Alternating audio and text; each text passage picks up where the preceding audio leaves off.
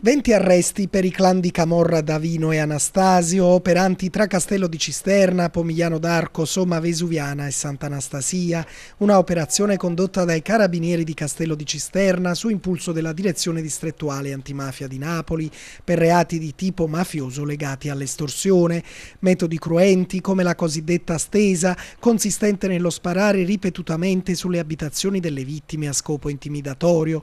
In un video vengono anche mostrate le intimidazioni ai danni dei titolari di un centro scommesse, tra gli arrestati anche due donne, di cui una legata sentimentalmente al boss Giovanni Davino.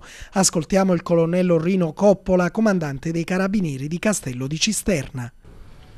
I carabinieri di Castello di Cisterna durante la notte hanno eseguito un'ordinanza di custodia cautelare a carico di 20 soggetti indagati per i reati di associazione camorristica, estorsione, spaccio di sostanze stupefacenti.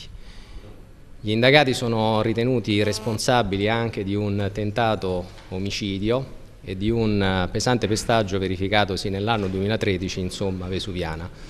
L'operazione ha consentito di individuare i componenti dei clan camorristici Davino e Anastasio operanti sui territori di Somma Vesuviana, Santa Anastasia e zone limitrofe.